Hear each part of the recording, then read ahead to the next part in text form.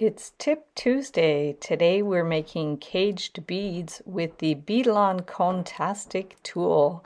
I will link up below some other tutorials where I've made caged beads. I will link them up in the description below. What you're going to need for this project is the Conetastic tool, 18 and 20 gauge wire, beads, and your tools. So I'm going to start with the tool. I'm using the basic mandrel that comes with the kit. This is the largest size. You're just going to screw it in with the Allen's key and then all the other bits fit in the end of the tool.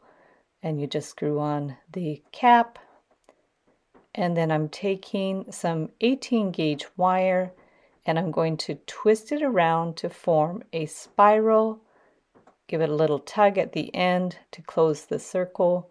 Remove it once you've made it as curved around as you like. And then flip it in a way that the cone is going to go the other direction. So just bring it around, same amount if you can, and just give a little tug to close the loop on the end.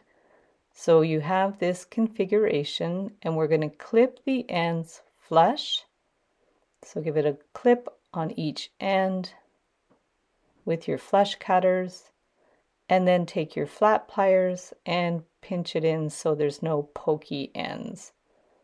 So after that, we will get our pliers and just hold the wire and push it down a little bit to compress it. And you can also use your hands just to compress it a little bit, pushing the wires together, wiggling them around as you need you can use your pliers too. So we're just going to push it down and then just split it open, pop in your bead. This is about a 10 millimeter bead. You can use 10, 12 millimeters, how you like. And once it's in there, we're going to get a piece of 20 gauge wire, clip the end, and do a little loop in the end. You can also use a head pin instead of this wire. So now we're going to find the hole of the bead, pop it through, make sure your wire is going through the little loops and make sure those loops are closed so it doesn't slip out.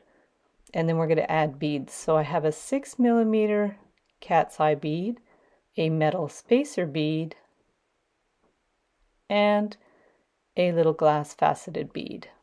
So hold it firmly and bend that end around with your round pliers, form a loop, and then wind it around so the beads are snug there.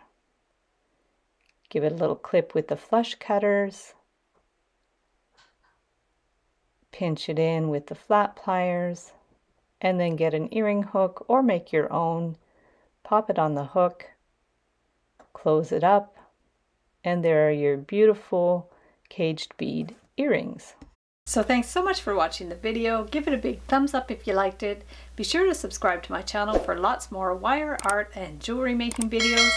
And if you'd like to share photos of your wire art and jewelry, be sure to join the Wire Makers Club on Facebook. And if you'd like to check out my work on Etsy, my husband and I specialize in custom wedding cake toppers and funky jewelry. I also have a mailing list, so if you'd like to sign up below, I'll send you my Wire Art Essentials ebook. So thanks again for watching and we'll see you the next time.